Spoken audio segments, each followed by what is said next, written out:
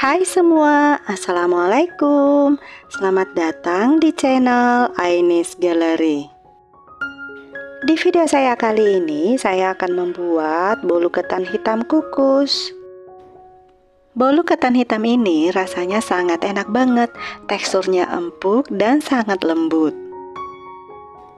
Nah, mau tahu cara buatnya dan bahannya apa saja? Simak videonya sampai selesai.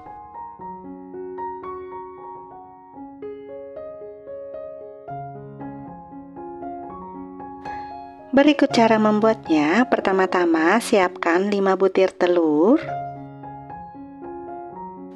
1 sendok teh emulsifier, di sini saya pakai SP.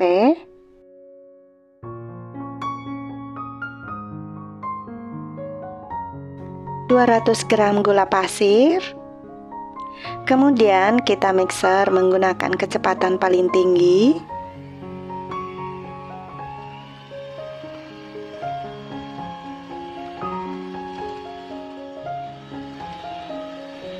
Mixer hingga adonannya mengembang kental putih dan berjejak seperti ini.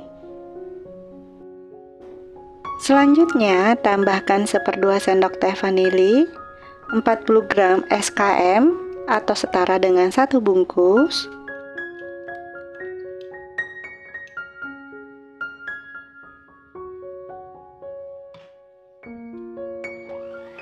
Aduk sebentar dengan mixer.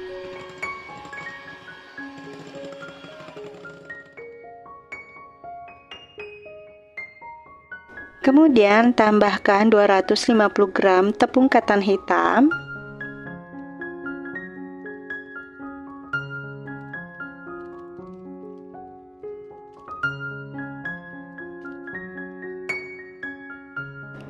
Saya aduk-aduk sebentar agar pada saat saya mixer tepungnya tidak berterbangan.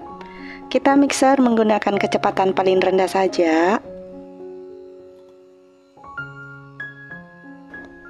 Kita mixer adonannya jangan terlalu lama, cukup hingga tepungnya sedikit tercampur. Tambahkan 130 ml santan. Santannya kita masukkan secara bertahap sambil kita mixer.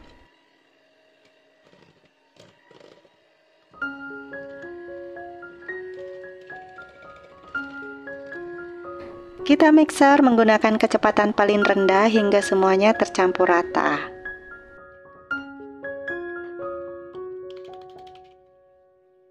Selanjutnya, tambahkan 100 ml minyak goreng.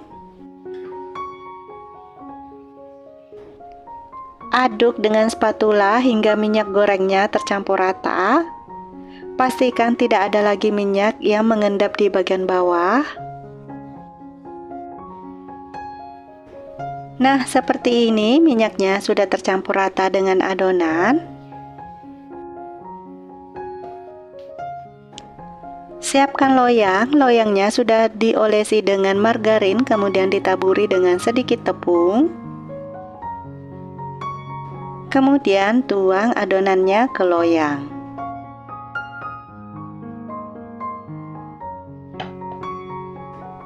Selanjutnya, bolunya siap untuk kita kukus. Sebelumnya saya sudah panaskan panci kukusan. Kukus bolunya menggunakan api sedang. Jangan lupa tutup pancinya dilapisi dengan kain. Kita kukus sekitar 30 menit lamanya, tapi untuk memastikan tingkat kematangannya lebih baik kita tes tusuk dulu. Jika sudah tidak ada yang lengket, itu pertanda bolunya sudah matang. Selagi masih panas, bolunya saya akan keluarkan dari loyang.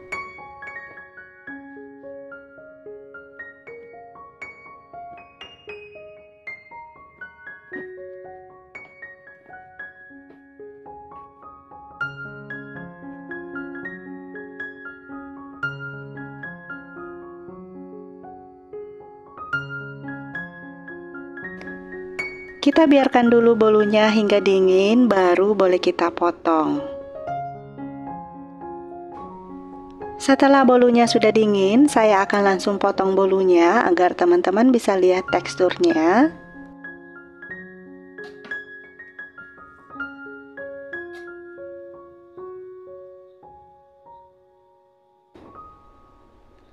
Nah, tekstur bolunya seperti ini. Teman-teman bisa lihat, kelihatan sangat lembut banget kan?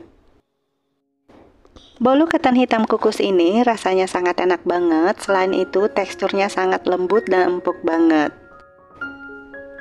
Bolu ketan hitam ini bisa disajikan untuk acara-acara keluarga atau bisa juga dijadikan sebagai ide jualan.